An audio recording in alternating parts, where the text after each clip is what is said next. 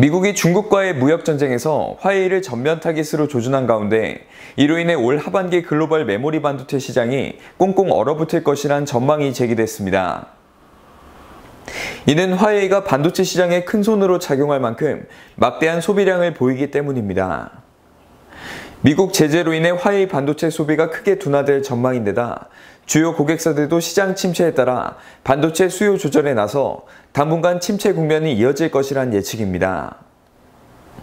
8일 글로벌 반도체 시장 조사 업체 디램 익스체인지가 발표한 보고서에 따르면 오는 3분기 디램 가격 전망이 이전보다 하향 조정됐습니다. 앞서 디램 익스체인지는 3월 보고서를 통해 디램 전체 평균가가 올 3분기 10% 하락을 예상했습니다. 이번 보고서는 최대 15%까지 추가 하락을 예상한 것입니다. 화웨이 사태가 글로벌 시장 환경에 큰 영향을 끼치고 있다는 분석입니다. 디램 익스체인지는 화웨이가 미국 시장 퇴출을 비롯해 핵심 부품 공급사로부터 물량까지 끊기게 되면서 사면초가에 놓였다는 진단입니다. 화웨이는 ARM과 퀄컴 등 주요 업체들로부터 AP와 5G 모뎀 칩 등 주요 부품 공급이 끊기면서 5G 지원 신모델 출시에 브레이크가 걸린 상황입니다.